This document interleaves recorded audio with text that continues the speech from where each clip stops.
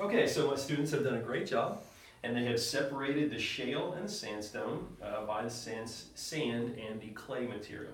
So, what we're going to do now is we're going to look at how much energy it takes for sandstone to be deposited versus clay, shale. All right, so Daniel, what I'd like for you to do is I'd like you to pour this water into this bottle. Just, um, you know, almost full.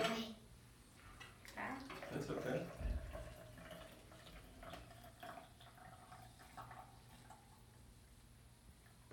All right, great, stop.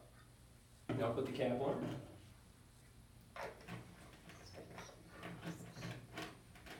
Now shake it up. Ah, come on, shake it. There we go. Now, Braille, go ahead and shake it. Yeah. Now, do you think that this is a lot of energy or just a little bit of energy when you shake it? Yes, Braille? A lot. A lot, that's right. What about when we set it down? Is it a lot of energy or just a little bit of energy? A little bit. A little bit of energy. So if we're talking about lakes and rivers and streams, do you think that this is more like a lake or more like a really powerful river? More like A a powerful lake. river. More like a river is exactly right because there's a lot of energy. But if I leave it still, what is it like, a lake or a river? A lake.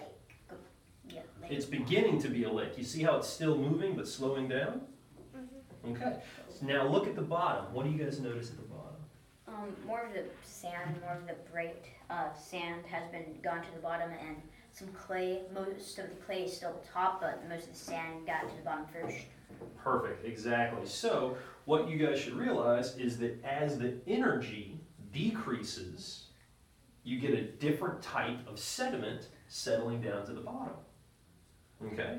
So, when we have a river moving really fast, we're going to have the deposition of the sand, and now that we have a very still lake condition, we're going to have the deposition of the clay material. So, this tells us what type of environment we would expect to find a sandstone in historically and a shale in historically. And when we come back, we're going to discuss how that works.